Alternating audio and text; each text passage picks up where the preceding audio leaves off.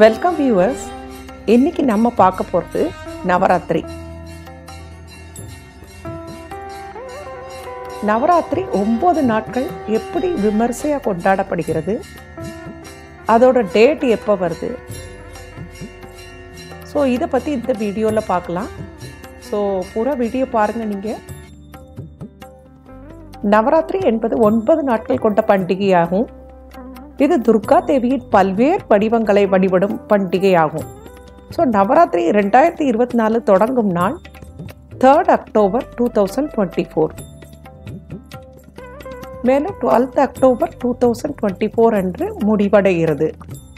So இந்த பண்டிகையின் ஒவ்வொரு நாளும் துர்கா தேவியின் ஒவ்வொரு வடிவத்திற்கு அர்ப்பணிக்கப்படுகிறது. மற்றும் இறுதியாக விஜயதசமி நாளில் மிக சிறப்பாக கொண்டாடப்படுகிறது. நவராத்திரி தினங்களில் பக்தர்கள் துர்கா லக்ஷ்மி சரஸ்வதி தேவிகளை வழிபடுவர். ஒன்பது நாட்களும் ஒவ்வொரு தெய்வத்திற்கும் அர்ப்பணிக்கப்படும். முதல் மூன்று நாட்கள் துர்கா அடுத்த மூன்று நாட்கள் லக்ஷ்மி மற்றும் கடைசி மூன்று நாட்கள் சரஸ்வதி.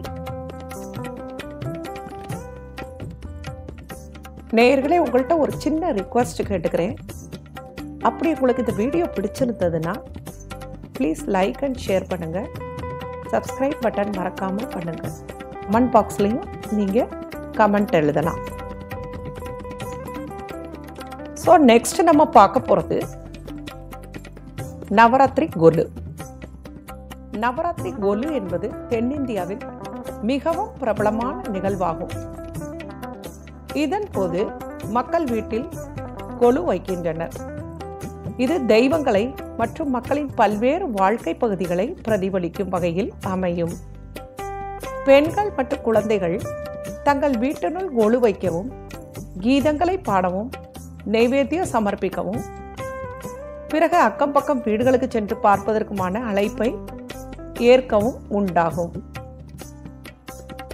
கொலு வைப்பு நவராத்திரி தினங்களில் முக்கியமான செயலாகும். ஏனெனில் இது பெண்ணியம் குடும்பம் மற்றும் சமுதாயம் என்பவற்றின் ஒருங்கிணைப்பை வெளிப்படுத்துகிறது. Two thousand twenty four Navratri காலத்தில் பின்பற்ற வேண்டிய முக்கிய பூஜை நேரம் எப்போதும் சாயங்காலம் மற்றும் காலை என பின்பற்றப்படுகிறது.